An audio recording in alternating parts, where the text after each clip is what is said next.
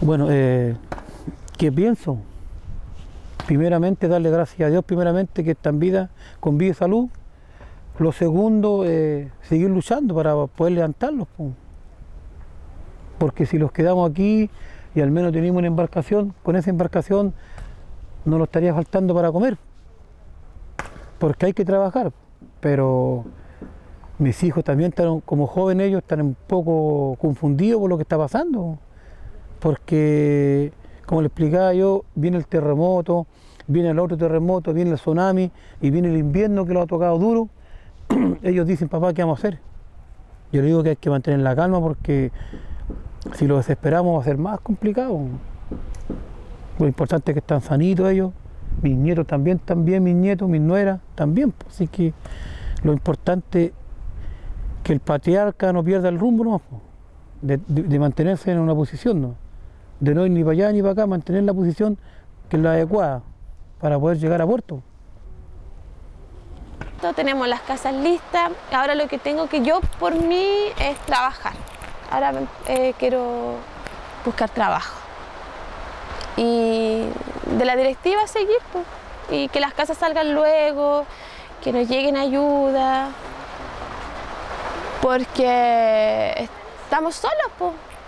Pues el, Que es muy la lindo. tecnología, los Este, departamentos oh, son en otra. Sí. Oye, pero nos dimos cuenta que el... Que el.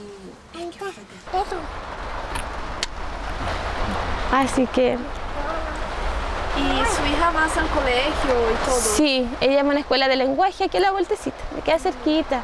El, el furgón la viene a buscar, la viene a dejar. Ella no supo nada así pues, del, del terremoto. Ella lo que le complicó fueron las, la- las réplicas. Porque ese día del terremoto yo me tiré encima y cuando arrancamos ya no, no había mucho. Pero las réplicas la dejaron mal. Ahora ya como que se le está pasando. Pero ella escucha, por ejemplo, una lata que se mueve, se mete debajo de la cama y no sale. Así que eh, ella quedó como afectada. Igual su genio cambió totalmente. Pero ahora está como volviendo a la normalidad de a poquito. ¿Cuáles son sus planificaciones para el futuro? Seguir adelante nomás, volver a empezar. Eh, tú sabes que las cosas materiales se, se recuperan. Cualquier cosa material la puedes recuperar, pero la vida no. Y gracias a Dios nosotros no, no se fue nadie de la familia. Así que pues, en ese lado estoy tranquilo. Y sabiendo que no se fue nadie de la familia, igual te dan como más ganas de superarte, seguir adelante. Porque lo material es lo de menos. Para mí lo material, si de hecho cuando nosotros salimos de la casa, eh, dejamos todo botado. No queríamos nada, o sea, queríamos que nosotros estuviéramos bien. No importaba lo material, no, no lo importó ni un momento a nosotros. Ni siquiera estando arriba pensó uno, hoy quiero ir a buscar esto porque me puede servir. Nada, nada, quedémonos todos tranquilos y juntos aquí el grupo de nosotros que se queda aquí y si se pierde, se pierde, si se va a la casa, se va.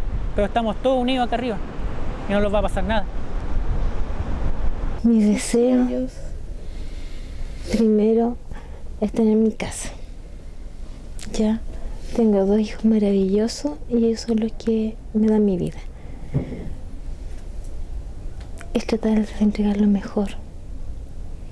Por eso a lo mejor, esta es una media agua, pero tú ni te imaginas en el palacio que lo voy a convertir. Porque ellos se tienen que sentir orgullosos de donde están, te fijas de lo que tienen. Y ellos se sienten orgullosos. ¿Mm? Esto es de nosotros y esto nos cuesta. Somos una familia los tres y los tres vamos a salir adelante. Lo que uno espera es una casa. Con calma y buena letra se va a lograr.